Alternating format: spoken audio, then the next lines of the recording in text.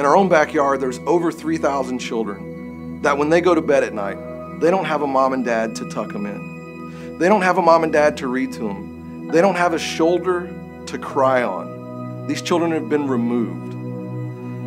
Now, let's just imagine for a second you're one of those children. Here's how it plays out you're sitting in your home, you're doing what you normally do. There's a knock on the door, the police are there, and they say you have to go with them.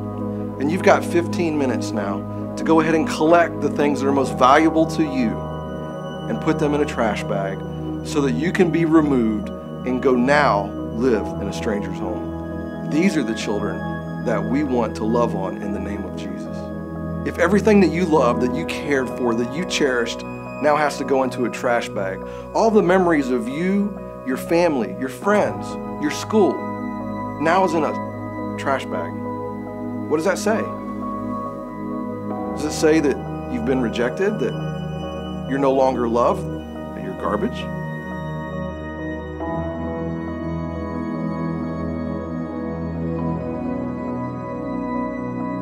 Our God is a God of hope, and He's a God of restoration, and He wants to restore that hope that was taken from these children.